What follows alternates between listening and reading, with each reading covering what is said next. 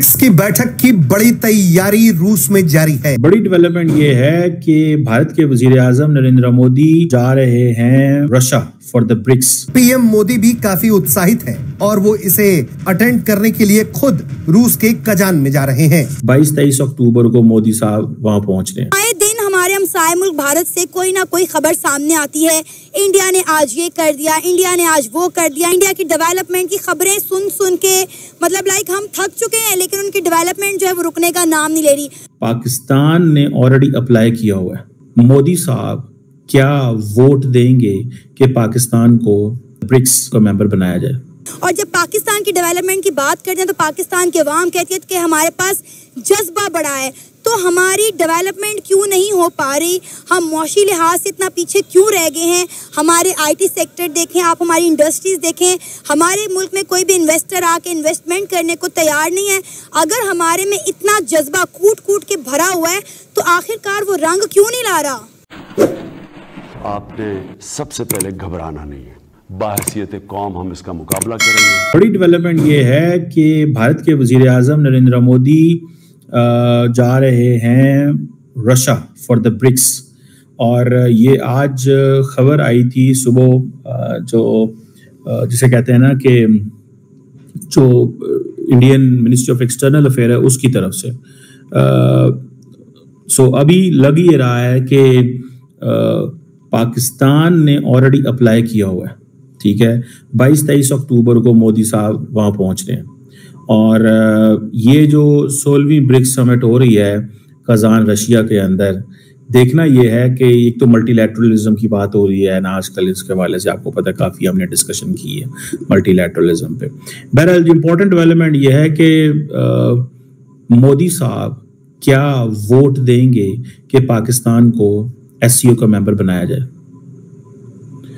अब ये डिपेंड करता है कि will this membership be at Pak India expense क्योंकि रशिया जो है वो सपोर्ट करेगा पाकिस्तान की मेंबरशिप क्योंकि ये एक ऑब्वियसली चाइना भी रशिया को कहेगा। आ, लेकिन इससे जारी बात है चाइना का इन्फ्लुएंस इसमें ज़्यादा बढ़ेगा with the Pakistani presence there so ये जेन में रखिएगा। इंडिया एक हर्डल है लेकिन इंडिया इसको लॉन्ग टर्म नहीं रोकेगा। शॉर्ट टर्म रोकना चाहे तो रोक सकता है। लॉन्ग टर्म नहीं रोकेगा if this is to be done मुझे ये लगता है। प्राइम मिनिस्टर मोदी जा रहे हैं, चालीस अदर मुल्कों के भी हेड ऑफ़ गवर्नमेंट्स जा रहे हैं स्टेट्स जा रहे हैं। लेकिन जारी बात है, रशिया के अंदर सड़कें बंद नहीं होंगी, शहर बंद नहीं होंगे, कुछ बंद नहीं होगा। ठीक है? जैसे हमने पाकिस्तान ने किया है। हमने पाकिस्तान में हर चीज़ बंद कर दी। लेकिन वो सारी बात है, जो लोग सिक्योरिटी देखते हैं, उनको पता है कि ये क्यों करना ज़रूरी है और क्या करना ज़रूरी है। अब पाकिस्तान जो है जिसे वो कहते हैं ना ख़ासतौर पर जिस तरह डॉक्टर जयशंकर को ट्रीट किया गया है, एक सॉफ्ट कॉर्नर याद रखिएगा इंडिया के अंदर पैदा हुआ है। मेरी ऑब्जर्वेशन है I may be wrong on this so India ये कह सकता है कि अगर हम अभी इसको हिस्सा नहीं बनाते तो हमें कल को बनाना पड़ेगा। So why to stop Pakistan या वो कह सकते हैं stop Pakistan to tell them how important we are in the region and how important we are in the BRICS. You are at the mercy of India in case you have to be the member of the BRICS. ठीक है ना जी सो uh, Pakistan की जो membership है ये जो application है ये बिल्कुल एट बोले ना एक नई फर्स्ट स्टेज पे है so so we we can not think so much on this ठीक है जी uh, सो इंडियंस क्या कहते हैं? इंडियंस का मौकव ये है कि स्ट्रॉन्गर इंस्टीट्यूशनल फिल्टर्स होने चाहिए। ठीक है जी?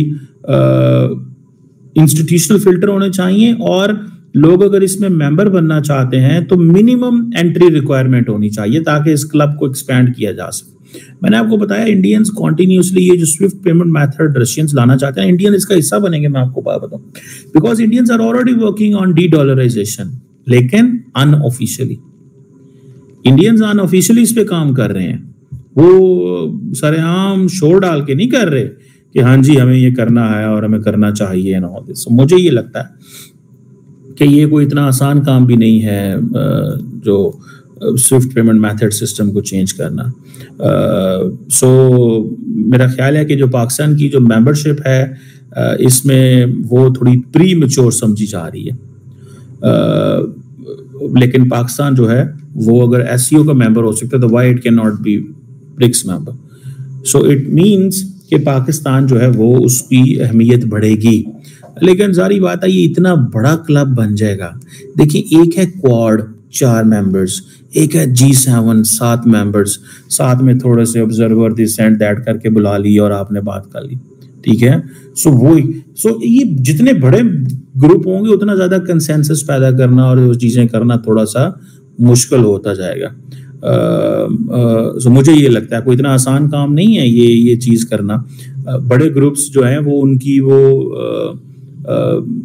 क्योंकि ये कोहेसिव यूनिट नहीं है। पॉलिटिकली अलायंस डिफरेंट हैं डिप्लोमेटिक डिफरेंट सोच है सोसाइटियल चीज़ें डिफरेंट है मिलिटरली डिफरेंट हैं और कोई लंबा चौड़ा इकोनॉमिक चीज़ भी नहीं वो इकोनॉमिक इंसेंटिव भी नहीं है कि जी हाँ हम इस ब्लॉक में चले जाएँगे तो क्या हो जाएगा। सो so, ब्रिक्स जो है as a counterweight to G seven ज़रूर है। लेकिन अदर देन दैट अब देखे ना एक चाइना है इंडिया है सॉरी इंडिया एक कंप्लीटली डिफरेंट पोजीशन लेता है। ब्राज़ील डिफरेंट पोजीशन लेता है। चाइना और इंडिया की अपनी एक स्ट्रेटेजिक राइवलरी है। जिसने बेसिकली ग्रुप्स जो ब्रिक्स का ग्रुप है इसको कमज़ोर किया because they don't share the same method why Jaishankar was in SCO because he he was telling China कि ये जो शंघाई बेस्ड ऑर्गेनाइजेशन है हम इसको इतनी लिफ्ट नहीं कराते। तो इनफैक्ट इंडिया वीकेंड एससीओ को कमज़ोर किया ना अपना वज़न दिखाया। इसी तरह ब्रिक्स को भी इंडिया ने बहुत हद तक लाइट रखा है लेकिन for the sake of Russia उनको वो करना पड़ता है। सो uh, so, जिसे कहते हैं ना कि ये ये है। सो चाइना की जो डोमिनेंस है उसके ऊपर काम किया जा रहा है इस वक्त। चाइना चाहता है हमारी डोमिनेंस हो।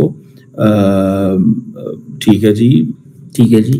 आ, मुझे ऐसा लगता है कि इंडिया जो है वो आ, हर ब्लॉक का, वो जिसे मल्टी डायमेंशनल अप्रोच कहते हैं ना, वो हर ब्लॉक का हिस्सा बनना चाह रहा है। उसको इस चीज़ से कोई गर्ज नहीं है कि कौन सा ब्लॉक इंडिया इट मीन्स कि इंडिया की जो, जब मैं ये कहता हूँ ना, इंडिया हर ब्लॉक का हिस्सा बनना चाहता है, या मल्टी डायमेंशनल इज्म की बात कर रहा है तो इट मीन्स इंडिया की वो खास पोलिटिकल डिप्लोमेटिक या वो जो वेस्टर्न वर्ल्ड कहती है ना रूल्स जो जो वेस्टर्न वर्ल्ड कहती है शेयर्ड वैल्यूज़ इंडिया की वो नहीं है। इंडिया को जिस चीज़ से गर्ज है वो ये है कि हमारा इंटरेस्ट कैसे प्रमोट होगा। That is what India is saying so मुझे ये लगता है uh, कि हमें uh, बड़े केयरफुली देखना पड़ेगा। अगर पाकिस्तान इसमें जाता है आपको पता है Egypt Ethiopia Iran Saudi Arabia और यूएई को ऑलरेडी ब्रिक्स का हिस्सा बना लिया सो ये लोग जा रहे हैं वहाँ पे। सो हो सकता है कि अगर पाकिस्तान जा रहा है तो पाकिस्तान भी जिसे कहेंगे ना कि कि अगर पाकिस्तान जा रहा है तो पाकिस्तान को इनवाइट किया गया है तो पाकिस्तान भी हो सकता है कोई मुलाकातें करे अपनी बायलैटरल्स वहाँ पे।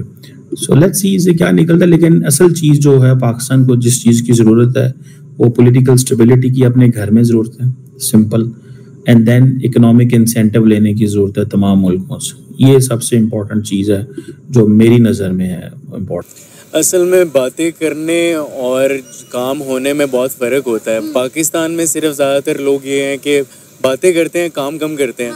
यहाँ पे ऑनेस्टी बहुत कम है। पाकिस्तान में पुलिस से लेके हर बंदे तक हर जगह करप्शन ही करप्शन है। आप कहीं पे भी देख लें। इंडिया में ये है कि इंडिया में फ़र्स्ट ऑफ़ ऑल डॉलर्स की अगर मैं बात करूँ डॉलर्स वहाँ पे सस्ता है यहाँ पे महँगा है ठीक है?